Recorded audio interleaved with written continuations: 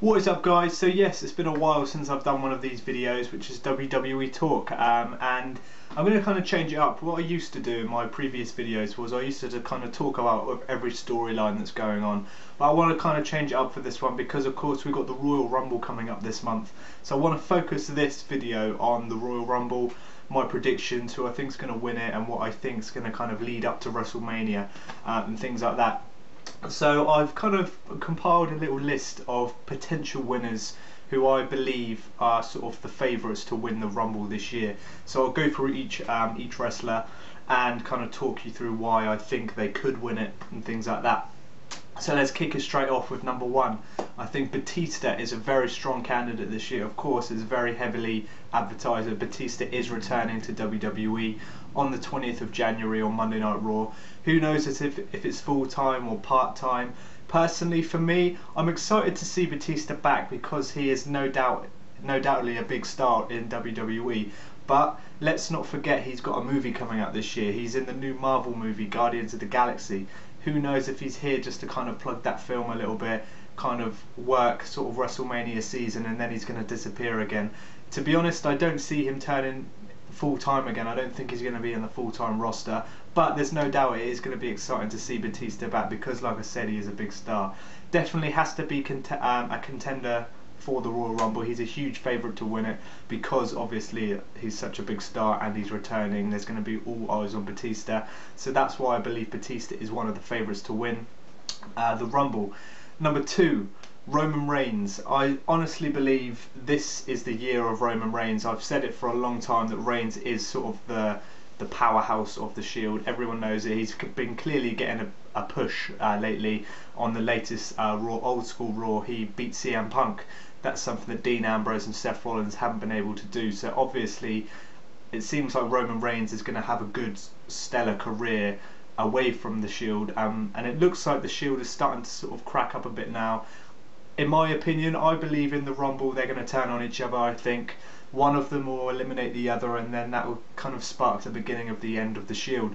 Um, because it's been a long time. I think the Shield have been around for sort of a year and a half, bit longer than that maybe. Um, so I, I have been thinking that it's time to sort of end it soon. But I do love the Shield. Um, and I am very interested to see what happens. I think if any of them are going to win the Rumble, it would be Roman Reigns because of the push he's been getting, um, and it really wouldn't surprise me at all. But yeah, I definitely see something interesting happening in this Rumble. Either one of them will eliminate the other, or they'll all turn on each other, something like that. Something's going to happen in this Rumble, and I'm really looking forward to seeing that. So yeah, my, my second pick of who it could be would be Roman Reigns. Next one is CM Punk. Um, of course, Punk is a huge favourite as well. I he's been getting a huge push as well lately with the whole um, Shield rivalry going on. He hasn't really got too much of a long-term storyline going on. They did tease that he would be going off against uh, Shawn Michaels a couple of weeks ago, but that seems to have been forgotten about now.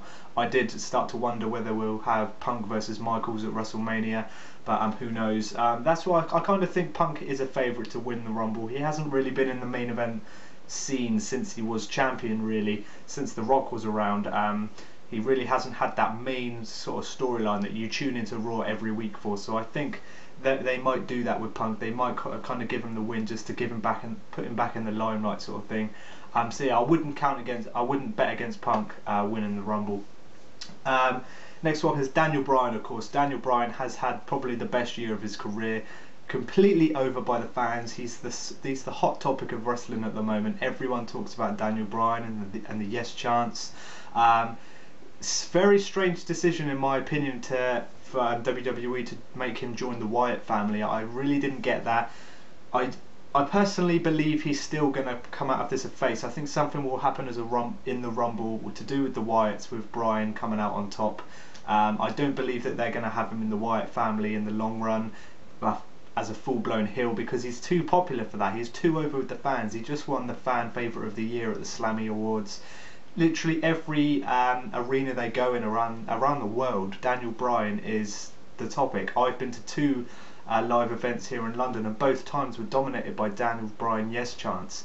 Um, so he's loved all around the world and to suddenly suddenly make him a heel just like that and join the Wyatt family I don't think it's a wise decision. That's why I don't believe it's it's sort of genuine. I think he's going to come out of this on top and I think that could be a reason why he may win the Rumble. Of course it would lead on to um, him main eventing WrestleMania 30 as well so that would be a huge huge deal really and would really make Daniel Bryan step up from this upper mid carder which he kind of is at the moment into a full blown sort of A-list wrestler along the likes of John Cena and Randy Orton um, and CM Punk, of course. So I think this could be the year where we see Daniel Bryan step up, just that extra step up into the big time. Um, so yeah, I wouldn't get against Bryan either. Brock Lesnar. Brock Lesnar, of course, made his return a couple of weeks ago by um, attacking Mark Henry on this most recent Raw he uh, attacked Mark Henry again, but then we saw a little Big Show confrontation as well, which might spark a little thing between them, which kind of makes me think maybe they're not focusing Brock on the Rumble too much if they're leading into like a Big Show storyline. But if Brock Lesnar is in the Royal Rumble, I would, really wouldn't bet against that either. I think he definitely, obviously, is a powerhouse. Obviously, he's going to be eliminating nodes. So if he is in it, he'll definitely be in the final sort of three or four. Um, who knows if he'll win it though? Because he, of course, he is a part time. I don't know if they'll focus such a big sort of storyline on a part-time wrestler. I don't think Brock Lesnar would be on Raw every week up until WrestleMania. Um, so that's the only reason that kind of makes me believe that it wouldn't be Brock. Um, just to kind of switch back to uh, Batista and everything.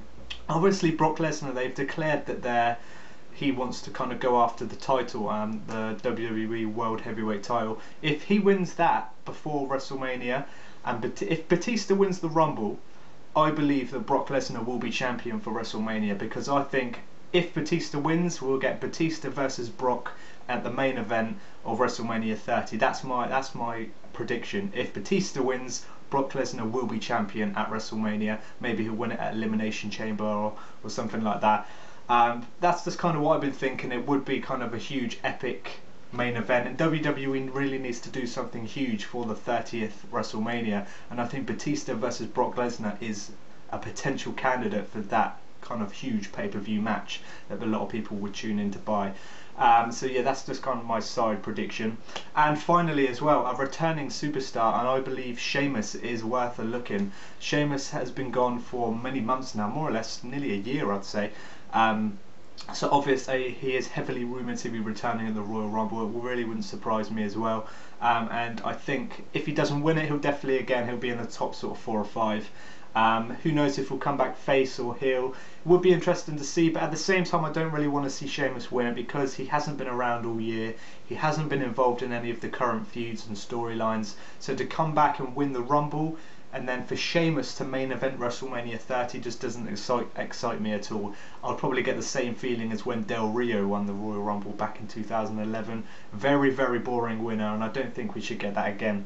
So yeah, those were my sort of six predictions. We've got Batista, Roman Reigns, CM Punk, Daniel Bryan, Brock Lesnar, and a possible Sheamus out of those who I want to win, I really want Roman Reigns to win. I think he's got the potential to be a very, very good superstar in the future. He's got all. He's got it all. He's got the body. He's got the kind of character. He's got great mic skills.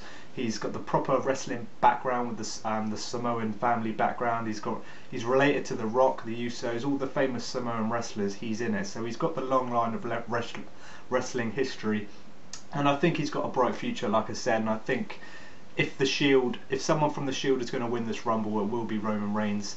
Um, and I'm really excited to see it. It's, it's, shaping up to be a really great Rumble this year.